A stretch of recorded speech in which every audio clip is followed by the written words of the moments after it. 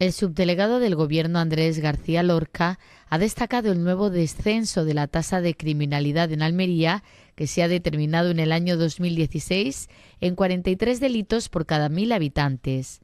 Unas cifras bastante positivas para la provincia.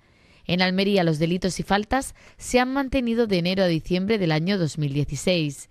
Además, han descendido en el número de homicidios y también de asesinatos consumados, así como en el descenso en robos con violencia e intimidación. Seguimos la tendencia de ir bajando la delincuencia, hemos llegado a las cifras más bajas de la última década en cuanto a la tasa de criminalidad y luego pues ya de una forma particularizada hay un descenso en, los delitos de un 14,3% y en los hurtos, que también suelen ser bastante molestos y que generan muchos temas de inseguridad ciudadana, un 3 poco más por ciento, ¿no? lo cual supone que eh, vamos por una senda correcta en cuanto a la garantizar la seguridad ciudadana y en cuanto a la represión de los hechos delictivos.